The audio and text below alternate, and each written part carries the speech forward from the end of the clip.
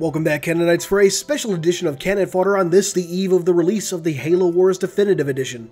As has been noted before, not everyone will have instant access tomorrow, but that is when the early access tokens will start rolling out. If you pre-order the Halo Wars 2 Ultimate Edition after tomorrow, it may take up to 10 days for your copy of the Halo Wars Definitive Edition to unlock. Anyway, with that little bit of info out of the way, let's dive into Canon Fodder itself, which this week takes a deeper look at certain characters and aspects of the original RTS hit. First up is a look at Ripa 'Moramee, the Arbiter who is, in a number of ways, the antithesis of the common elite. He is little concerned with honor and tradition. As an example, he regularly draws his blades when Sangheili tradition dictates that a weapon once drawn cannot be put away until it has tasted blood. Ripa is, instead, focused on victory. Early in his career, Ripa led a strike force during the 16th Unggoy disobedience that quelled the rebellion. His ruthlessness was cemented when he butchered the infamous pirate lord Krith, during which his legion was reduced to a handful of hardened killers. And his mastery of war was honed over the course of dozens of campaigns on the fringes of Covenant space and at the cost of several worlds. However, Ripa grew too ambitious, and tried to overthrow his clan's Kaidon on the colony of Malurak, aka Decided Heart. He failed, and for his failure was condemned to a living death. Lucky for him, these actions and his zeal caught the attention of the Prophet of Regret, and Ripa would be given a second chance as the Arbiter. The next character we look at is the unnamed Brute Chieftain, now given the nickname of Thrall Slayer. This chieftain was a powerful force during the Harvest campaign. After the discovery of Shield World 0459 and the arrival of the human ship Spirit of Fire, the Thrall Slayer was ordered to accompany the Prophet of Regret when he was evacuated on the order of Ripa 'Moramee, Though Ripa's intent had been to rob the chieftain of any glory, this would ultimately ensure the Brute's survival after the Shield World was destroyed. It's pretty awesome to get confirmation that the chieftain actually did survive the events of Halo Wars, and to get a nickname other than just Army Commander. But seriously, 343, we know he's Castor from Halo Last Light. Just admit it already. Moving on, we next look at Proclamation's Tithe, the CPV destroyer that the Spirit of Fire had a close encounter with upon entering the inside of the Shield World. Both ships were heavily damaged in the fight, and the crew of the destroyer, alive or dead, would be honored by the Prophet of Regret when he returned to High Charity. If you recall, CPV destroyers were often crewed with those deemed unworthy or unfit to serve on other ships, those condemned as disloyal or disobedient, but not heretics. Those that served on Proclamation's Tithe were lucky enough to have their names restored to the rolls of honor in the Covenant archives.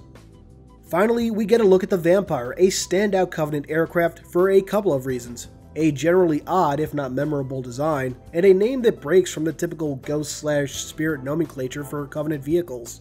The Vampire, while not a common vehicle to encounter, was certainly recognizable to UNSC forces. Like most Covenant craft, its cockpit was located towards the rear in an environmentally sealed pod, while weaponry and armor was mainly towards the front. The primary weapon for vampires was a super heavy needle cannon, acting in a similar manner to the needler gun employed by Covenant troops. Some vampires, though not all, also had a stasis cannon and two heavy plasma turrets. Though rarely used, the Vampire was also equipped with a space-capable impulse drive. And that wraps up the main body of the article. The next section has a rather exciting announcement. Available for the first time since the release of the original Halo Wars, legally speaking, this Canon Fodder article has a downloadable PDF of Halo Wars Genesis, a Halo Wars prequel comic written by Eric Nylund and illustrated by Phil Noto.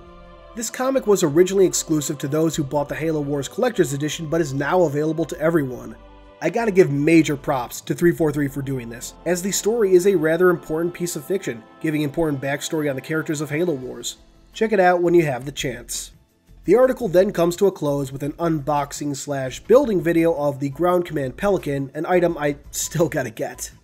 And that brings Canon Fodder to a close. Nice slices of interesting information, both old and new, and the release of Halo Wars Genesis is again a damn smart move by 343. If you want to know more about the Halo Wars Definitive Edition and how to get it, check out this past week's community update for relevant information, including a look at the new achievement list. Spoiler alert, they got rid of the general rank achievement, thank god. Links to that and the Canon Fodder article are in the description box below, as always. And before we go, also consider checking out my review of Halo Smoke and Shadow. It's only three weeks late. Thanks for watching as always, and until next time, this has been Halo Canon. Hey guys, thanks for watching. If you liked this video, please consider giving it a thumbs up, subscribing, and sharing it around. You are the reason I get to keep doing this, so thank you, profusely thank you. If you want to dive deeper into Halo's lore, head over to the Halo Archive. It's a lore based community that welcomes everyone from experts to rookies. No matter what your working knowledge, you'll be sure to find a friend and a good time.